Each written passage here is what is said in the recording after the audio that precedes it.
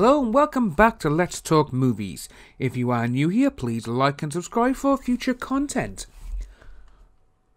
All I can say is is wow.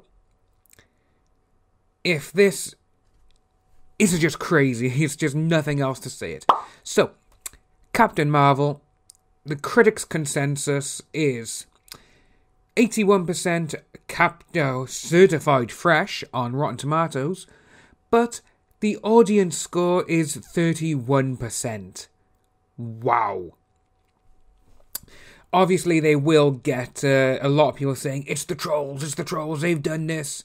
But even when you go down into the actual critic reviews, there's 255. They, you know, there's 49 rotten, top critics 38, and 206 fresh. But this is just crazy to see how much is going. It's basically a majority split. And they are mixed.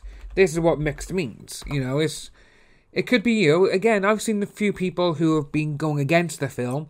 You know, they've actually gone and seen it, and they're like, you know what, it's alright. It's not exactly amazing, but it's a normal Marvel origin film. So, so it could be good, you know, but I will be seeing it with my niece uh, next week, so I'll probably just give my review on it then. But just going through a lot of these reviews, man, it's, it's crazy. Just, you know, in the grand scheme of the Marvel Universe, however, Captain Marvel feels like a supporting player, not a featured attraction. You know, you do have a couple which are given, you know, 3 out of 4s and, you know, like 3s out of 5, 4 out of 5s and stuff like that. There's a lot of top critics as well. Joe Morgenstern, Wall Street Journal. This woman is a candidate for genuine heroism. Yet there's a fundamental dissonance between the depth of her plight and the shallow disorganization of the script, which it does actually seem to be a key aspect of the people who don't actually like the movie, is that the script is not up to scratch. With this, I think this would be uh, mostly down to the people who did uh, direct it and they wrote it as well, mostly because this is not their genre they normally write. However, when you get people outside the genre, you know, they get paid or, or they get hired to write it, they normally do outlandish things, which they know, you know, if they did outlandish indie films, they normally bring that to the table.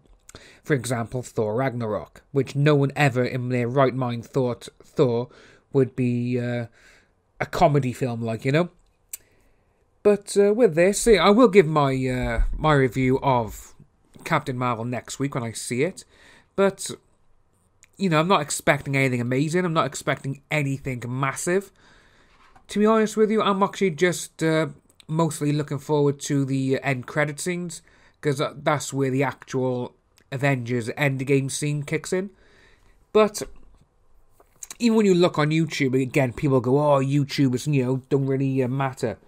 There's one guy I listen to on YouTube a hell of a lot, and we have the same kind of taste in movies the majority of the films he likes, I've liked. Ones he thinks are rubbish, I think they're rubbish. And that is Tyrone Magnus. Tyrone Magnus absolutely hates this movie.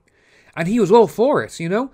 You look at his video reactions to the trailers, the scenes, and everything else. He was like, yes, I can't wait. Cannot wait for this. And he's just there now, it's like, it's the worst film ever. It's the worst Captain Marvel film, you know, worst MCU movie if a lot of people are saying it like that, there's only one film I can probably compare it to at the moment to one I because I haven't seen the film, and that is I can I can compare this to Batman and Robin. It's the Batman and Robin of the series of the MCU universe. But you know, we'll say I, I, once I've seen it, I will give my review, and it will, will be an honest review. If I like it, I like it. If I don't, I don't. So you know, be interesting to see how this one goes because obviously we are just over a month away from Endgame. If you are new here, please like and subscribe to the channel, hit that notification bell, and we'll see you soon.